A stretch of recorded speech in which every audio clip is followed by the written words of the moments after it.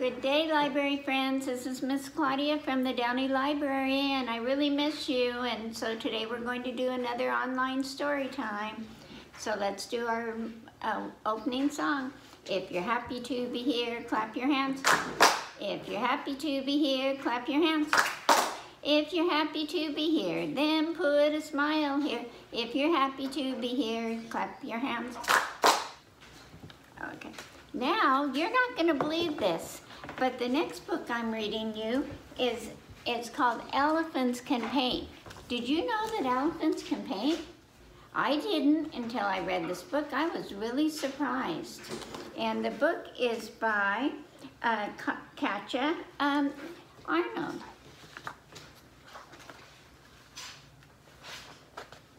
And elephants can paint. I teach two schools. One school in the city and the other city in the jungle. Have you ever heard of a teacher teaching in the jungle? And some of my students have hands. You see the hands there? And some of my students have trunks because they're elephants. And some of my students eat grass. And some of my students eat peanut butter and jelly sandwiches. And all of my students love cookies, the elephants and the kids. And they all like to be with their friends. The kids like to be with their friends, and the elephants like to be with their friends. It's time for art class.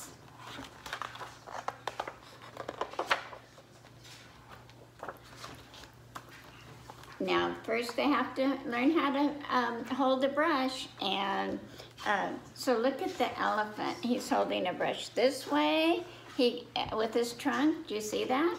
Or he can hold it this way with it right in the top of his trunk.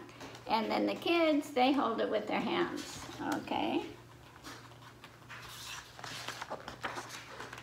Now let's paint. Look at the kids are painting and look at the elephant. And he has the brush in his trunk. Can you see that? And look, the students like to paint dots. So look, the, the kids are painting a dot picture and the elephant is painting a dot picture. Oh, boy, they both look pretty good, don't they? And the students like to uh, paint bright colors, both of them. This is the, the, uh, the child student, and this is the elephant student. Wow, both of the students can paint. This is the child's uh, painting, and this is the elephant's flowers. Do you know how long it took this elephant to learn how to make these flowers? Three years, three years, but he made them. And Everyone has their own style. Do you see how everyone makes things different? And anything can happen when the teacher leaves the room. Look at the child, his hands are completely painted. And look at the elephant. He's all messed up too. And then look at the elephant. They have to wash the elephant's feet and they have to get between his toes, which are pretty hard to do. And look at the elephant. That's his rear end there. He's getting into the water trying to get cleaned up. It's a funny picture. And art class is over. All students can paint and be proud of their picture. So look at the little boy, how proud he is of his picture. And then look at the elephant. He's so proud of his picture too. So now you learned something today. Elephants can paint. And our next story is going to be for the little ones. Okay? Where's Spot? And I wanted to tell you, like when you're at home and there's not a lot to do, it's fun to paint, and so that's something that you could do. And then today, it's like hide and seek, so that's another thing you could do at home. So Spot the, uh, Where's Spot by Eric Hill. This one's a, a, a, a lift-up book, so I know how you like those. Okay, that Spot, he hasn't eaten his supper. Where can he be? Is he behind the door? Let's see. No, look who's behind the door. A bear's behind the door. Is he inside the clock? Whoa. No, look, a snake is inside the clock. Oh, I hope not in my clock. Is he in the piano? Let's take a look. No, look who's in the piano, a hippopotamus. Is he under the stairs? Well, let's take a look. No, the lion's under the stairs. Is he in the closet? Oh, we have to open both doors. No, a monkey eating a banana is in the closet. Is he under the bed? Oh, that'd be a good place for him to hide. No, there's an alligator under the bed. Oh, well. Is he in the box? Oh, that might be a good place. No, no, no. There's three birds saying, no, we're not Spot. There's Spot. He's under the rug. Let's take a look. No, that's not Spot. That's a turtle. And here's a basket. Oh, there's Spot. He's in a nice cozy little basket. Good boy, Spot. Now he's back and he's eating his dinner. So there you go. This is one of the favorite um, um, small children's books we have at the library. Okay, now we have one more book. This one where is where you need to do do a little moving. So I think you need to stand up for this book.